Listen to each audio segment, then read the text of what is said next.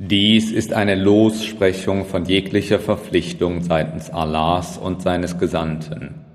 Sie ist an diejenigen Götzendiener gerichtet, mit denen ihr ein Bündnis abgeschlossen habt. So zieht denn vier Monate lang im Lande umher und wisset, dass ihr euch Allahs nicht entziehen könnt und dass Allah die Ungläubigen demütigen wird. Und dies ist eine Ankündigung von Allah und seinem Gesandten an die Menschen am Tage der großen Pilgerfahrt, dass Allah der Götzendiener ledig ist und ebenso sein Gesandter. Bereut ihr also, so wird das besser für euch sein. Kehrt ihr euch jedoch ab, so wisset, dass ihr euch Allah nicht entziehen könnt und verheiße denen schmerzliche Strafe, die ungläubig sind. Davon sind diejenigen Götzendiener ausgenommen, mit denen ihr einen Vertrag eingegangen seid und die es euch an nichts haben fehlen lassen und die keine anderen gegen euch unterstützt haben. Diesen gegenüber haltet den Vertrag bis zum Ablauf der Frist ein. Wahrlich, Allah liebt diejenigen, die ihn fürchten. Und wenn die heiligen Monate abgelaufen sind, dann tötet die Götzendiener, wo immer ihr sie findet, und ergreift sie und belagert sie und lauert ihnen aus jedem Hinterhalt auf. Wenn sie aber bereuen und das Gebet verrichten und die Zackert entrichten, dann gebt ihnen den Weg frei. Wahrlich, Allah ist allvergebend barmherzig. Und wenn einer der Götzendiener bei dir Schutz sucht, dann gewähre ihm Schutz, bis er Allahs Worte vernehmen kann. Hierauf lasse ihn den Ort seiner Sicherheit erreichen. Dies soll so sein, weil sie ein unwissendes Volk sind. Wie kann es einen Vertrag geben zwischen den Götzendienern und Allah und seinem Gesandten? Allein die ausgenommen, mit denen ihr bei der heiligen Moschee ein Bündnis eingingt? Solange diese euch die Treue halten, haltet ihnen die Treue. Wahrlich, Allah liebt diejenigen, die ihn fürchten. Wie? Würden sie doch, wenn sie euch besiegten, weder Bindungen noch Verpflichtungen euch gegenüber einhalten. Sie würden euch mit dem Munde gefällig sein, indes ihre Herzen würden sich weigern. Und die meisten von ihnen sind Frevler. Sie verkaufen Allahs Zeichen für einen geringen Preis und halten von seinem Weg ab. Übel ist wahrlich, was sie tun. Sie achten keine Bindung und keine Verpflichtung gegenüber einem Gläubigen, und sie sind die Übertreter. Bereuen Sie aber und verrichten Sie das Gebet und entrichten Sie die Zackert, so sind sie eure Brüder im Glauben. Und wir machen die Zeichen klar für die wissenden Leute. Wenn sie aber nach ihrem Vertrag ihre Eide brechen und euren Glauben angreifen, dann bekämpft die Anführer des Unglaubens. Sie halten ja keine Eide, so dass sie davon ablassen Wollt ihr nicht gegen Leute kämpfen, die ihre Eide gebrochen haben und die den Gesandten zu vertreiben planten? Sie waren es ja, die euch zuerst angegriffen haben. Fürchtet ihr sie etwa? Allahs Würde geziemt es eher, dass ihr ihn fürchtet, wenn ihr Gläubige seid. Bekämpft sie, so wird Allah sie durch eure Hand bestrafen und demütigen und euch gegen sie helfen und den Herzen eines gläubigen Volkes Heilung bringen. Und er wird die Wut aus ihren Herzen bannen. Und Allah kehrt sich gnädig dem zu, dem er will. Und Allah ist allwissend, allweise. Meint ihr etwa, ihr würdet in Ruhe gelassen, wo Allah doch nicht jene von euch gezeichnet hat, die in seiner Sache kämpfen und sich keinen zum Vertrauten nehmen außer Allah und seinen Gesandten und die Gläubigen. Und Allah weiß recht wohl, was ihr tut. Den Götzendienern steht es nicht zu, die Moscheen Allahs zu erhalten, solange sie gegen sich selbst den Unglauben bezeugen. Sie sind es, deren Werke nichtig sein sollen, und sie müssen auf ewig im Feuer bleiben. Wahrlich, der allein vermag die Moscheen Allahs zu erhalten, der an Allah und an den jüngsten Tag glaubt und das Gebet verrichtet und die Zakat entrichtet und keinen außer Allah fürchtet. Diese also mögen unter denen sein, welche den rechten Weg finden. Wollt ihr etwa die Tränkung der Pilger und die Erhaltung der heiligen Moschee den Werken dessen gleichsetzen, der an Allah und an den jüngsten Tag glaubt und auf Allahs Weg kämpft? Vor Allah sind sie nicht gleich, und Allah weist nicht den ungerechten Leuten den Weg. Diejenigen, die glauben und auswandern und mit ihrem Gut und ihrem Blut für Allahs Sache kämpfen, nehme den höchsten Rang bei Allah ein, und sie sind es, die gewinnen werden. Ihr Herr verheißt ihnen seine Barmherzigkeit und sein Wohlgefallen und Gärten, in deren ewiger Wonne sie sein werden. Dort werden sie auf ewig und immer da verweilen. Wahrlich, bei Allah ist ein riesiger Lohn. O ihr, die ihr glaubt, nehmt nicht eure Väter und eure Brüder zu Beschützern, wenn sie den Unglauben dem Glauben vorziehen. Und diejenigen von euch, die sie zu Beschützern nehmen, das sind die Ungerechten.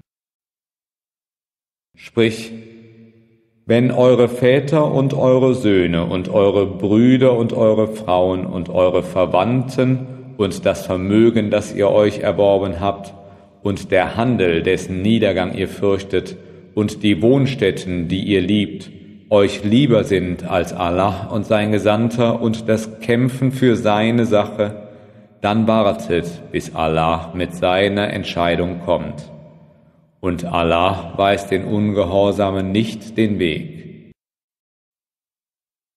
Wahrlich, Allah half euch schon an vielen Orten zum Sieg, und am Tage von Honain als eure große Zahl euch stolz machte, doch sie nutzte euch nichts, und die Erde wurde euch in ihrer Weite eng.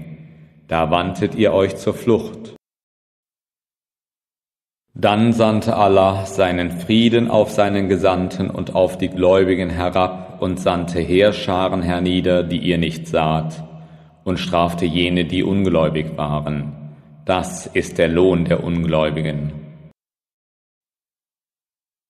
Doch hernach kehrt sich Allah gnädig dem zu, dem er will. Und Allah ist allvergebend barmherzig. O ihr, die ihr glaubt, wahrlich, die Götzendiener sind unrein. Darum dürfen sie sich nach diesem ihrem Jahr der heiligen Moschee nicht nähern. Und falls ihr Armut befürchtet, so wird euch Allah gewiss aus seiner Fülle reich machen, wenn er will. Wahrlich, Allah ist allwissend, allweise. Kämpft gegen diejenigen, die nicht an Allah und an den jüngsten Tag glauben und die das nicht für verboten erklären, was Allah und sein Gesandter für verboten erklärt haben und die nicht dem wahren Glauben folgen. Von denen, die die Schrift erhalten haben, bis sie eigenhändig den Tribut in voller Unterwerfung entrichten. Und die Juden sagen, Esra sei Allahs Sohn. Und die Christen sagen, der Messias sei Allahs Sohn. Das ist das Wort aus ihrem Mund. Sie ahmen die Rede derer nach, die vor dem ungläubig waren. Allahs Fluch über sie. Wie sind sie doch irregeleitet. Sie haben sich ihre Schriftgelehrten und Mönche zu Herren genommen außer Allah und den Messias, den Sohn der Maria, und doch war ihnen geboten worden, allein den einzigen Gott anzubeten. Es ist kein Gott außer ihm, gepriesen sei er über das, was sie ihm zur Seite stellen. Sie wollten Allahs Licht mit ihrem Munde auslöschen, jedoch Allah will nichts anderes, als dass sein Licht vollendet wird mag es den Ungläubigen auch zuwider sein. Er ist es, der seinen Gesandten mit der Führung und der wahren Religion geschickt hat, auf dass er sie über alle anderen Religionen siegen lasse. Mag es den Götzendienern auch zuwider sein.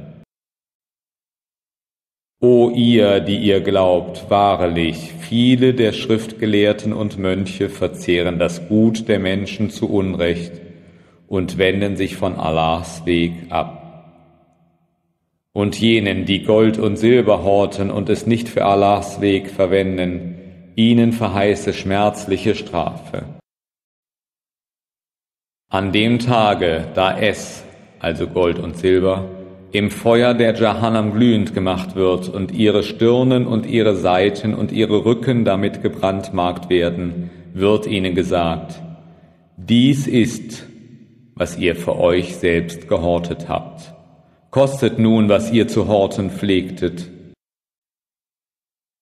Wahrlich, die Zahl der Monate bei Allah beträgt zwölf Monate. So sind sie im Buche Allahs festgelegt worden seit dem Tage, da er die Himmel und die Erde erschuf. Von diesen Monaten sind vier heilig. Das ist die beständige Religion. Darum versündigt euch nicht in diesen Monaten und bekämpft die Götzendiener allesamt, wie sie euch allesamt bekämpfen. Und wisset, dass Allah mit denjenigen ist, die ihn fürchten. Das Verschieben eines heiligen Monats ist nur eine Steigerung des Unglaubens. Die Ungläubigen werden dadurch irregeführt Sie erlauben es in einem Jahr und verbieten es in einem anderen Jahr, damit sie eine Übereinstimmung in der Anzahl der Monate erreichen, die Allah heilig gemacht hat, und so erlauben sie das, was Allah verwehrt hat. Das Böse ihrer Taten wird ihnen schön vor Augen geführt, doch Allah weist dem ungläubigen Volk nicht den Weg. O ihr, die ihr glaubt, was ist mit euch, dass ihr euch schwer zur Erde sinken lasst, wenn euch gesagt wird, zieht aus auf Allahs Weg? Würdet ihr euch denn mit dem diesseitigen Leben statt mit jenem im Jenseits zufrieden geben? Doch der Genuss des irdischen Lebens ist gar gering verglichen mit dem des Jenseits. Wenn ihr nicht auszieht, wird er euch mit schmerzlicher Strafe bestrafen und wird an eurer Stelle ein anderes Volk erwählen, und ihr werdet ihm gewiss keinen Schaden zufügen, und Allah hat Macht über alle Dinge. Wenn ihr ihm nicht helft, so wisset, dass Allah ihm damals half, als die Ungläubigen ihn vertrieben haben, wie sie da beide in der Höhle waren und er zu seinem Begleiter sagte, Sei nicht traurig, denn Allah ist mit uns. Da ließ Allah seinen Frieden auf ihn herab und stärkte ihn mit Heerscharen, die ihr nicht saht, und erniedrigte das Wort der Ungläubigen. Und Allahs Wort allein ist das Höchste. Und Allah ist erhaben allweise, Zieht aus, leicht und schwer, und kämpft mit eurem Gut und mit eurem Blut für Allahs Sache. Das ist besser für euch, wenn ihr es nur wüsstet. Hätte es sich um einen nahen Gewinn und um eine kurze Reise gehandelt, wären sie dir gewiss gefolgt, doch die schwere Reise schien ihnen zu lang. Und doch werden sie bei Allah schwören, Hätten wir es vermocht, wären wir sicherlich mit euch ausgezogen. Sie fügen sich selbst Schaden zu, und Allah weiß, dass sie Lügner sind. Allah verzeiht dir. Warum erlaubst du ihnen zurückzubleiben, bis die, welche die Wahrheit sagten, dir bekannt wurden und du die Lügner erkanntest? Diejenigen, die an Allah und an den jüngsten Tag glauben, bitten dich nicht um Erlaubnis, nicht mit ihrem Gut und ihrem Blut kämpfen zu müssen, und Allah kennt diejenigen recht wohl, die ihn fürchten. Nur die werden dich um Erlaubnis bitten, dem Kampf fern zu bleiben, die nicht an Allah und an den jüngsten Tag glauben und deren Herzen voller Zweifel sind, und in ihrem Zweifel schwanken sie.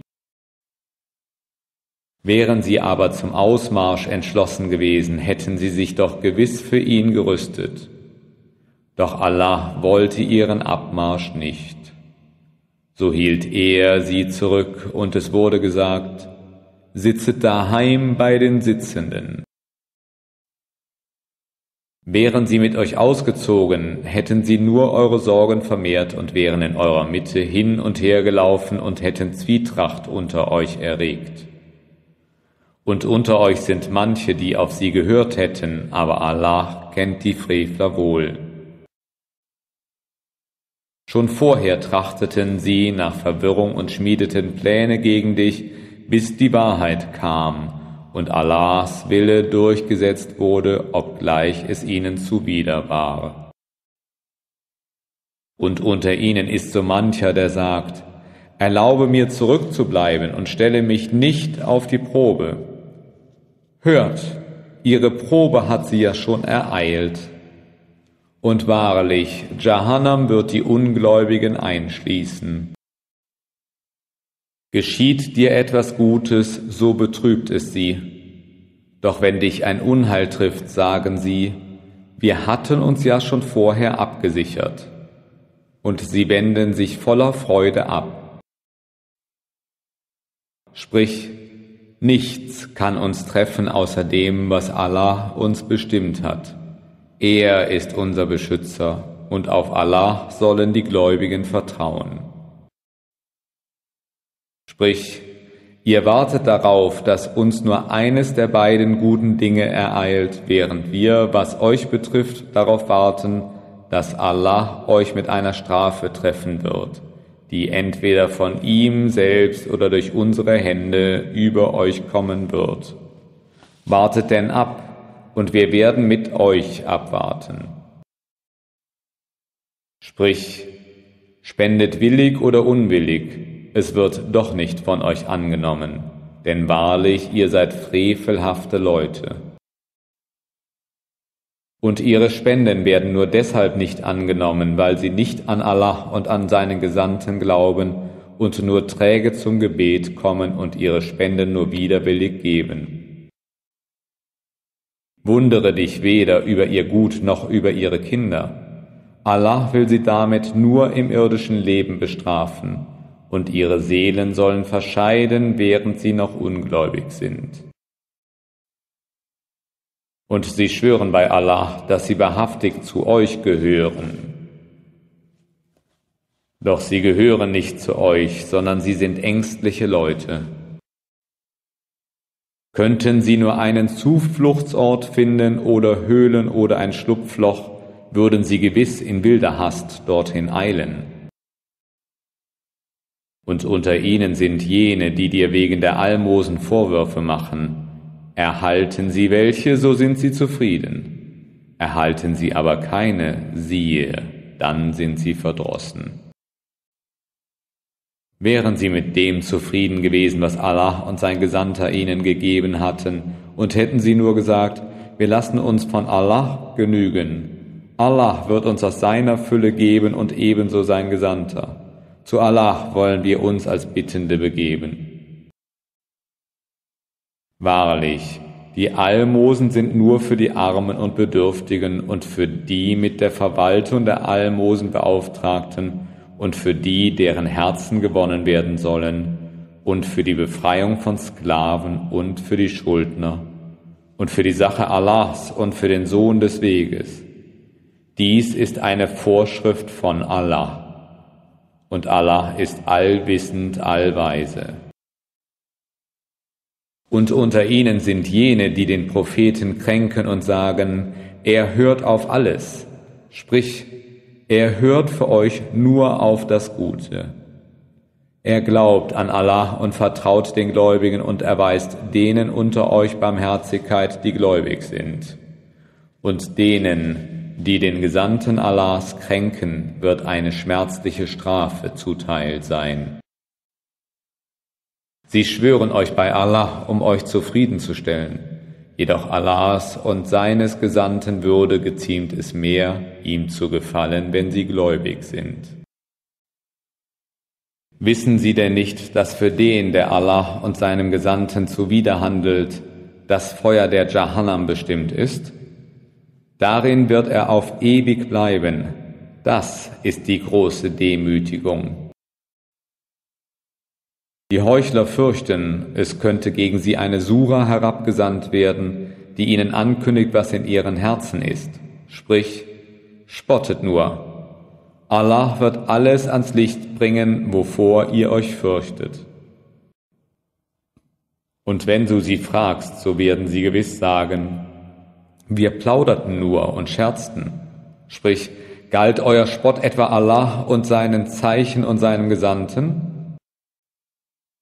Versucht euch nicht zu entschuldigen. Ihr seid ungläubig geworden, nachdem ihr geglaubt habt. Wenn wir einem Teil von euch vergeben, so bestrafen wir den anderen Teil deshalb, weil sie Sünder waren. Die Heuchler und Heuchlerinnen gehören zueinander. Sie gebieten das Böse und verbieten das Gute. Und ihre Hände bleiben geschlossen. Sie haben Allah vergessen und so hat er sie vergessen. Wahrlich, die Heuchler sind wahre Frevler. Allah hat den Heuchlern und Heuchlerinnen und den Ungläubigen das Feuer der Jahannam versprochen. Darin werden sie auf ewig bleiben. Das wird genug für sie sein. Und Allah hat sie verflucht und ihnen wird eine dauernde Strafe zuteil sein, wie jenen, die vor euch waren. Sie waren mächtiger als ihr an Kraft und reicher an Gut und Kindern. Sie erfreuten sich ihres Loses. Auch ihr habt euch eures Loses erfreut, gerade so wie jene vor euch sich ihres Loses erfreuten. Und ihr ergötztet euch an müßiger Rede, wie jene sich an müßiger Rede ergötzten. Ihre Werke sollen ihnen nichts fruchten, weder in dieser Welt noch im Jenseits und sie sind die Verlierer.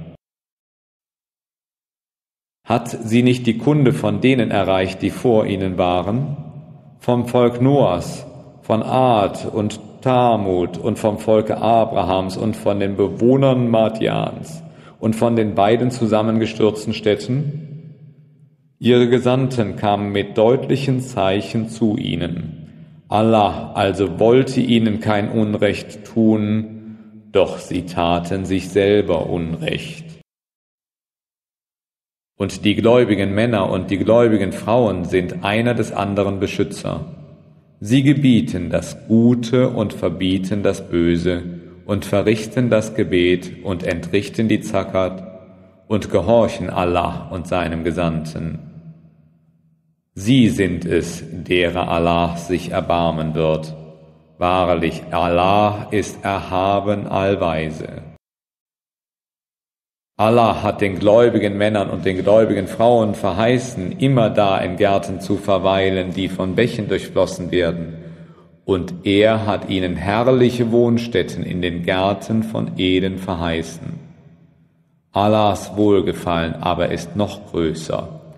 Das ist der gewaltige Gewinn. O Prophet, kämpfe gegen die Ungläubigen und die Heuchler und sei streng mit ihnen. Ihre Herberge ist Jahannam und schlimm ist das Ende. Sie schwören bei Allah, dass sie nichts gesagt hätten, doch sie führten unzweifelhaft lästerliche Rede und sie fielen in den Unglauben zurück, nachdem sie den Islam angenommen hatten. Sie begehrten das, was sie nicht erreichen konnten. Und sie näherten nur dann Hass, weil Allah und sein Gesandter sie in seiner Huld reich gemacht hatten. Und wenn sie nun bereuen, so wird es besser für sie sein. Wenden sie sich jedoch vom Glauben ab, so wird Allah sie in dieser Welt und im Jenseits mit schmerzlicher Strafe bestrafen. Und sie haben auf Erden weder Freund noch Helfer. Und unter ihnen sind so manche, die Allah versprachen, wenn er uns aus seiner Fülle gibt, dann wollen wir bestimmt Almosen geben und rechtschaffen sein. Doch als er ihnen dann aus seiner Fülle gab, geizten sie damit und wandten sich in Abneigung ab. Zur Vergeltung pflanzte er Heuchelei in ihre Herzen. Sie währt bis zu dem Tage, an dem sie ihm begegnen werden, und weil sie Allah nicht gehalten haben, was sie ihm versprochen haben, und weil sie gelogen hatten. Wussten sie denn nicht, dass Allah ihre Geheimnisse und ihre vertraulichen Beratungen kennt und dass Allah der Kenner des Verborgenen ist? Diejenigen, die da jene Gläubigen schelten, die freiwillig Almosen geben, wie auch jene, die nichts zu geben finden als ihre eigene Leistung und sie deswegen verhöhnen, Denen wird Allah ihren Hohn vergelten und ihnen wird eine schmerzliche Strafe zuteil sein. Ob du für sie um Vergebung bittest oder nicht um Vergebung für sie bittest, oder ob du siebzigmal für sie um Verzeihung bittest, Allah wird ihnen niemals verzeihen. Deshalb, weil sie nicht an Allah und seinen Gesandten glaubten, und Allah weist den frevelhaften Leuten nicht den Weg. Jene, die zurückgelassen worden waren, freuten sich ihres Daheimbleibens hinter dem Rücken des Gesandten Allahs und waren nicht geneigt, mit ihrem Gut und mit ihrem Blut für Allahs Sache zu kämpfen. Sie sagten, zieht doch nicht in der Hitze aus, sprich, das Feuer der Jahannam ist von stärkerer Hitze. Wenn sie doch nur begreifen könnten. Sie sollten wenig lachen und viel weinen über das, was sie sich erworben haben. Und wenn Allah dich zu einer Gruppe von ihnen heimkehren lässt und sie dich um Erlaubnis bitten auszuziehen, dann sprich, nie sollt ihr mit mir ausziehen und nie einen Feind an meiner Seite bekämpfen. Es gefiel euch, das erste Mal daheim sitzen zu bleiben, so sitzet nun wieder bei denen, die zurückbleiben. Und bete nie für einen von ihnen, der stirbt, noch stehe an seinem Grabe. Denn sie glaubten nicht an Allah und an seinen Gesandten, und sie starben als Frevler. Wundere dich weder über ihr Gut noch über ihre Kinder. Allah will sie damit nur in dieser Welt bestrafen und ihre Seelen sollen verscheiden, während sie noch ungläubig sind. Und wenn eine Sura herabgesandt wird des Inhalts, glaubt an Allah und kämpft an der Seite seines Gesandten, dann bitten dich die Reichen unter ihnen um Erlaubnis und sagen, lass uns bei denen sein, die daheim bleiben. Sie sind damit zufrieden, bei den Zurückbleibenden zu sein und ihre Herzen sind versiegelt, so dass sie nichts begreifen. Jedoch der Gesandte und die Gläubigen mit ihm, die mit ihrem Gut und mit ihrem Blut kämpfen, sind es, denen Gutes zuteil werden soll. Und sie sind es, die Erfolg haben werden. Allah hat Gärten für sie bereitet, durch welche Bäche fließen. Darin sollen sie auf ewig verweilen. Das ist die große Glückseligkeit. Und es kamen solche Wüstenaraber, die Ausreden gebrauchten, um vom Kampf ausgenommen zu werden. Und jene blieben daheim, die falsch gegen Allah und seinen Gesandten waren. Wahrlich, getroffen von einer schmerzlichen Strafe werden jene unter euch sein, die ungläubig sind. Kein Tadel trifft die Schwachen und die Kranken und diejenigen, die nichts zum Ausgeben finden, wenn sie nur gegen Allah und seinen Gesandten aufrichtig sind. Kein Vorwurf trifft jene, die Gutes tun, und Allah ist allverzeihend barmherzig. Noch trifft jene ein Tadel, die zu dir kamen, damit du ihnen die Möglichkeit zu reiten verschafftest und zu denen du sagtest, ich kann nichts finden, womit ich euch beritten machen könnte. Da kehrten sie um, während ihre Augen vor Tränen überflossen aus Kummer darüber, dass sie nichts fanden, was sie hätten ausgeben können. Ein Vorwurf trifft nur jene, die dich um Erlaubnis bitten, obwohl sie reich sind. Sie sind damit zufrieden, bei den Zurückbleibenden zu sein. Allah hat ein Siegel auf ihre Herzen gelegt, so dass sie kein Wissen haben. Sie werden euch Entschuldigungen vorbringen, wenn ihr zu ihnen zurückkehrt. Sprich, bringt keine Entschuldigungen vor, wir glauben euch doch nicht. Allah hat uns schon über eure Angelegenheit belehrt. Allah und sein Gesandter werden auf euer Tun schauen. Dann werdet ihr zum Kenner des Verborgenen und des Offenbaren zurückgebracht werden, und er wird euch alles verkünden, was ihr zu tun pflegtet. Sie werden euch bei Allah beschwören, wenn ihr zu ihnen zurückkehrt, dass ihr sie sich selbst überlassen sollt. Überlasst sie also sich selbst. Sie sind eine Plage, und ihre Herberge ist Jahannam, das Entgelt für das, was sie sich selbst erwarben. Sie werden euch schwören, dass ihr mit ihnen wohl zufrieden sein könntet. Doch wäret ihr auch mit ihnen zufrieden, Allah würde doch nicht mit einem Volk von Frevlern zufrieden sein. Die Wüstenaraber sind am härtesten im Unglauben und Heuchelei und sind eher dazu geneigt, die Schranke nicht anzuerkennen, die Allah seinem Gesandten offenbart hat. Und Allah ist allwissend, allweise. Und unter den Wüstenarabern sind so manche, die das, was sie spenden, als eine erzwungene Buße ansehen. Und sie warten nur auf euer Missgeschick. Allein sie selbst wird ein unheilvolles Missgeschick treffen. Und Allah ist allhörend, allwissend. Doch unter den Wüstenarabern sind auch solche, die an Allah und an den jüngsten Tag glauben und die das, was sie spenden, als ein Mittel betrachten, sich Allah zu nähern und die Segnungen des Propheten zu empfangen. Wahrlich, für sie ist es ein Mittel der Annäherung. Allah wird sie bald in seine Barmherzigkeit einführen. Wahrlich, Allah ist allvergebend barmherzig. Die allerersten, die ersten der Auswanderer und der Helfer sind jene, die ihnen auf die beste Art gefolgt sind mit ihnen ist Allah wohl zufrieden und sie sind wohl zufrieden mit ihm. Und er hat ihnen Gärten bereitet, durch welche Bäche fließen. Darin sollen sie verweilen auf ewig und immer da. Das ist der gewaltige Gewinn. Und unter den Wüstenarabern, die in eurer Gegend wohnten, gibt es auch Heuchler wie im Volk von Al-Madina. Sie sind verstockt in ihrer Heuchelei. Du kennst sie nicht, wir aber kennen sie. Wir werden sie zweimal bestrafen. Hierauf werden sie einer gewaltigen Strafe zugewiesen werden.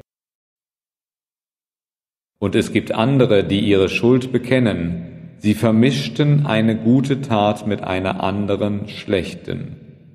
Allah möge sich ihnen mit Erbarmen wieder zuwenden Wahrlich, Allah ist allvergebend barmherzig. Nimm Almosen von ihrem Besitz, auf dass du sie dadurch reinigen und läutern mögest, und bete für sie, denn dein Gebet verschafft ihnen Beruhigung. Und Allah ist allhörend, allwissend. Wissen sie denn nicht, dass es Allah allein ist, der von seinen Dienern Reue annimmt und Almosen entgegennimmt?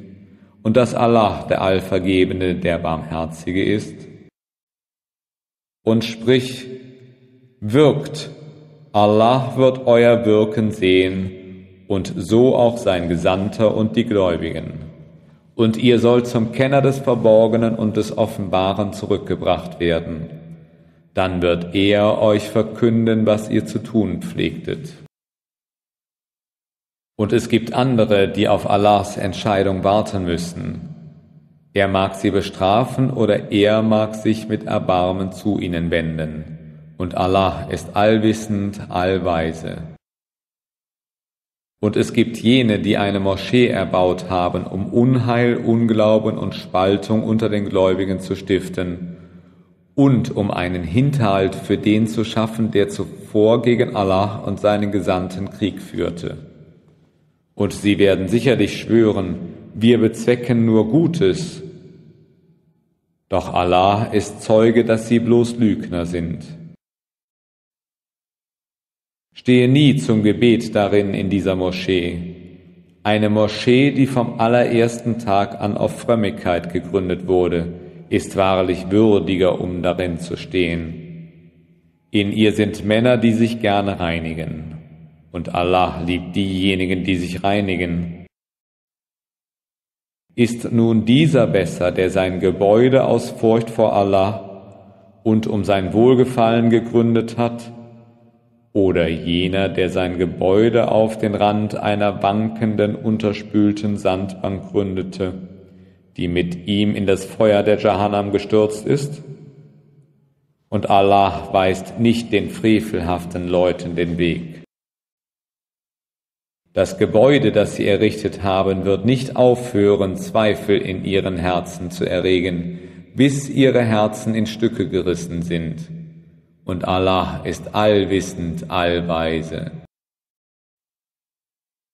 Allah hat von den Gläubigen ihr Leben und ihr Gut für das Paradies erkauft. Sie kämpfen für Allahs Sache, sie töten und werden getötet. Eine Verheißung bindend für ihn in der Tora und im Evangelium und im Koran. Und wer hält seine Verheißung getreuer als Allah? So freut euch eures Handels, den ihr mit ihm abgeschlossen habt, denn dies ist wahrlich die große Glückseligkeit. Denjenigen, die sich in Reue zu Allah wenden, ihn anbeten, ihn Lob preisen, die in seiner Sache umherziehen und sich beugen und niederwerfen, die das Gute gebieten und das Böse verbieten und die Schranken Allahs achten, verkünde diesen Gläubigen die frohe Botschaft.